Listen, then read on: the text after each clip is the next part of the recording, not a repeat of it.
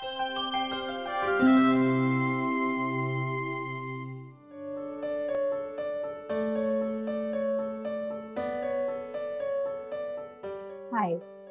I am Dr. Priyanka Jain, Senior Consultant, Developmental and Behavioral Pediatrician, Dharamshila Narayana Super Specialty Hospital, New Delhi. Today we are going to talk about adolescent depression.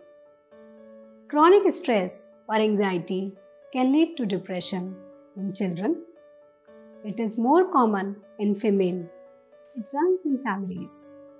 If any parent or first degree relative has depression, then there are increased chances of depression in children. 65% of adolescents report depression. So, what is the neurobiology of depression? At puberty, there are hormonal and neurochemical changes in the brain. Serotonin, dopamine, and norepinephrine are happiness neurochemicals. When these chemicals are decreased in blood, then it leads to depression. So, what are the causes of depression in adolescents? There are various causes of depression in adolescents. It may be environment induced.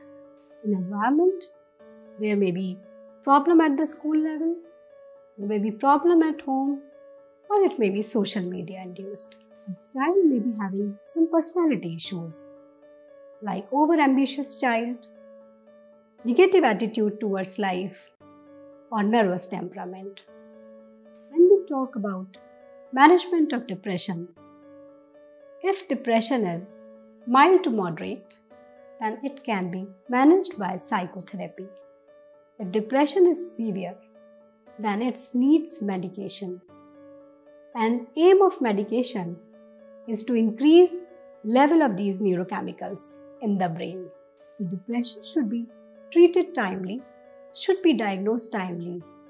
If it remains undiagnosed, then it can lead to substance abuse or suicidal attempts in children. Thank you.